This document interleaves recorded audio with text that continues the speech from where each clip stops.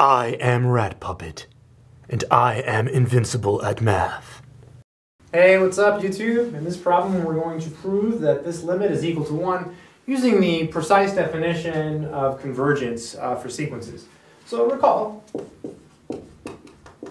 that we, when we take the limit uh, as n approaches infinity of a sub n, and we say that's equal to L, or L is a real number, what does this mean? Well, this means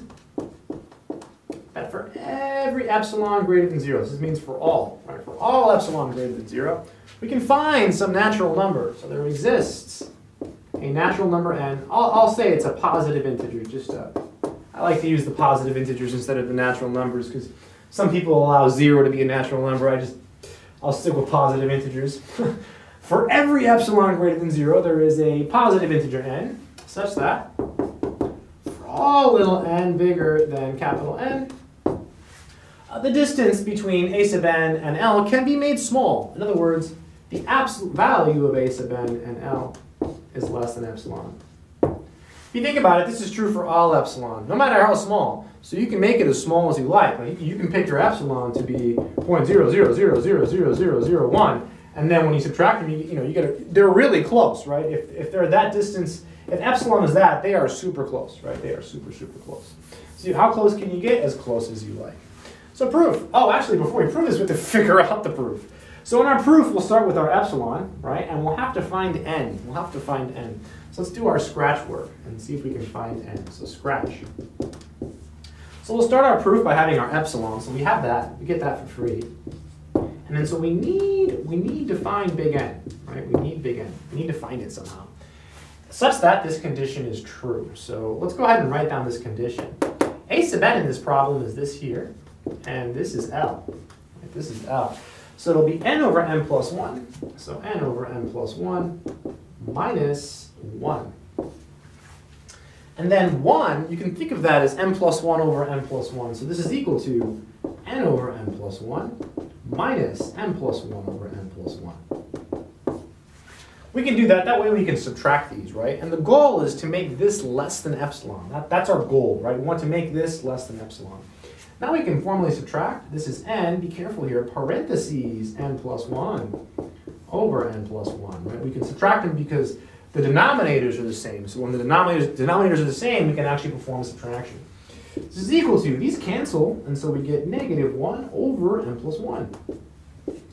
And then we can drop the absolute value and it will eat the negative sign, right? The absolute value of negative 1 is 1, so we get 1 over n plus 1.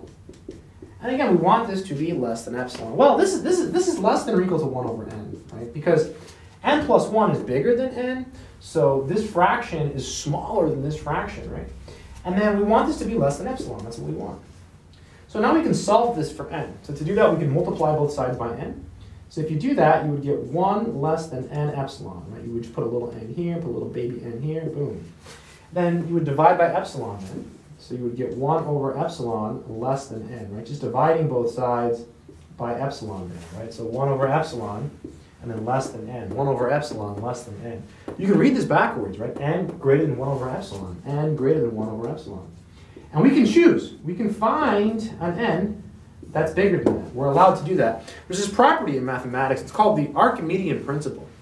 It says given any real number, you can find a positive integer which is bigger, right? So 1 over epsilon is a real number because epsilon is positive, so it's not 0. It makes sense. So 1 over epsilon is a real number. So by the power of Archimedes, we can find a positive integer that is bigger.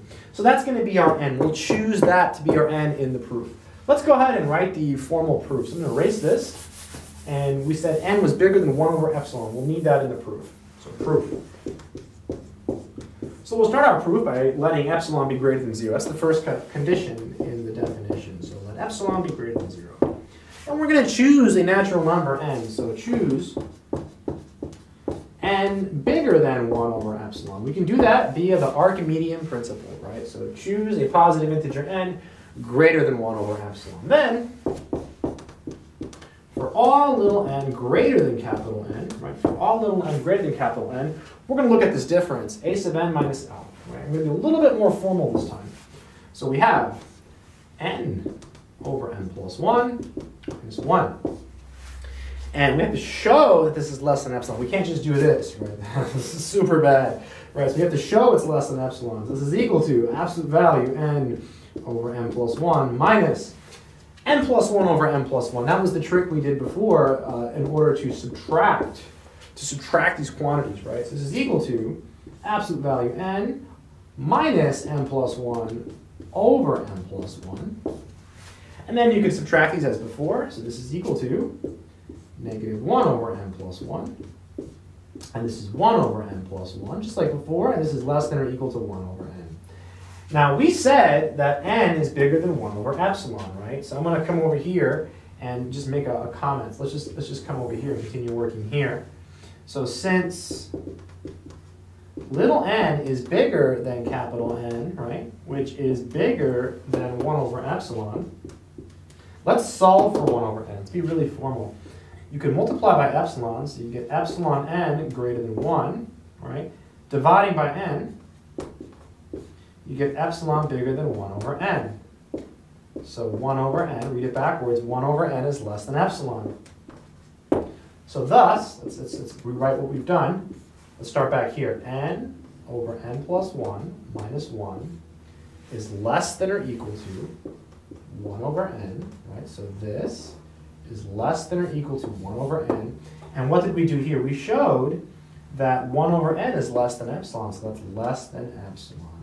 So it's just a nice formality to really show how the proof falls apart. Because when you get here, you still kind of have to explain, you know, why is this less than epsilon? We know because we worked it out backwards in the scratch work, but it's nice to justify it in the proof. And to do that, what you do is you go back here and you say, okay, little n is, you need to figure out what's going on with little n, right? Because all you have here is little n.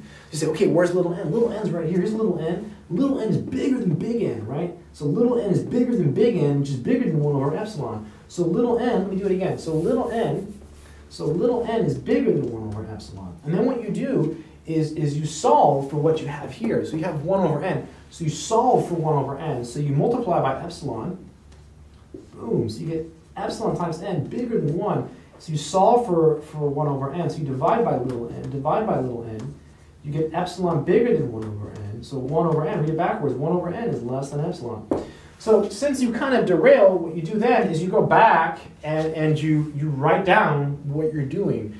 You let the reader know, hey, wait a minute, we sidetracked, so look, what, what are we doing? We're doing this. We're showing that this difference, follow the string, is less than or equal to 1 over n. Oh, and we just showed it's less than epsilon, so we can write it again just for clarity. So that's it. Take care.